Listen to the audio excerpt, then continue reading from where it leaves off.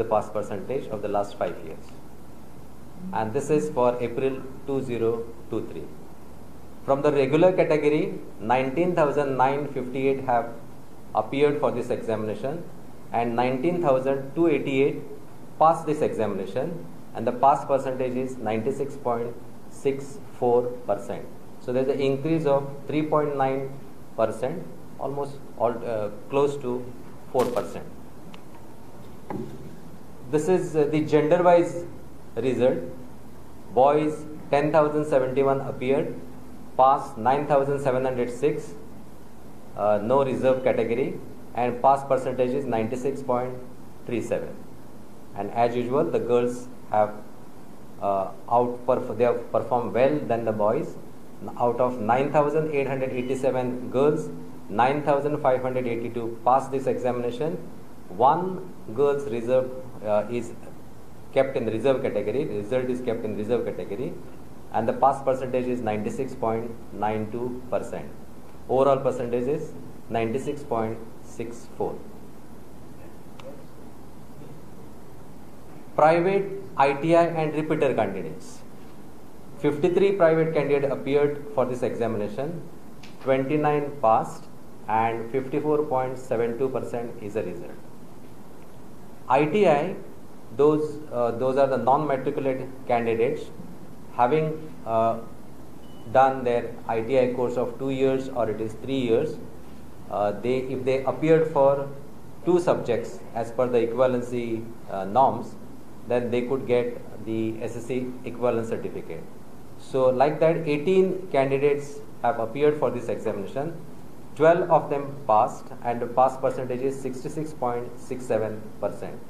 And these are the repeater candidates of the previous batches. 446 have appeared, 252 passed, and the result is 56.50. Very important part here it is the it is a private candidate and the ITI candidates they were going the internal assessment scheme. So they had to uh, go to the respective schools, answer their internal examination, and those marks were uh, forwarded to the board to come out with their results. The ITI scheme, this is not notified in the official gazette 26 1 2017. The criteria for the equivalence is minimum there should be a two years ITI course in any trade, and equivalence criteria is candidate has to appear and pass in two subjects. One subject is the English language one, and second one any language of his of his or her choice. The purpose of this scheme is to pursue the higher education and for the employment purpose. This is especially in the government of Goa or it is a private sector. For specially able candidates, 425 appeared, 418 passed, and the pass percentage of these specially able candidates in the SSC examination, this is 98.35. Total number of the schools offering CWSN subjects, that is children with special need, is 104, out of which 4 were the special schools. So 100 schools, they have sponsored the specially able candidates in various subjects it is. The educational facilities granted to specially able candidates. Number one, this is 50% concession in the examination fees.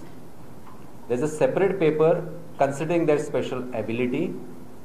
There's a provision for the extra time depending on the special ability. There's a special sitting arrangement, preferably on the ground floor.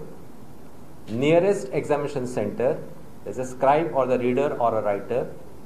We provide enlarged print of question paper for visually impaired candidate. And we allow them to drop the second language and take the subjects like painting, cookery, data processing, desktop publishing, astronomy, or otherwise. These are the four special schools. Sanjay Center for Special Education, Porvorim. They have sponsored 31 candidates, 31 passed, and the result is 100%. St. Xavier's Academy, Old Goa, have sponsored 14 candidates, all 14 passed, result 100%. Lok Vishwas Pratishthan's Virani Isani High School for Hearing Impaired Children, Dhavli Fonda, sponsored 6 candidates, all 6 of them passed, result 100%. and Lok Vishwas Pratishthan's IJ Virani and NI Virani schools and home for visually impaired children, Dhavli Fonda. In this category, they have sponsored two candidates, two passed, result 100%. The percentage of the candidates in the following range. Less than 33, 126 candidates, 33 to 45, 1144, 46 to 59, this is 4718, and the maximum candidates they are placed in 60 to 80, so 9708 they have scored the marks between 60% to 80%, and in 81 to 100, 4262 candidates are placed.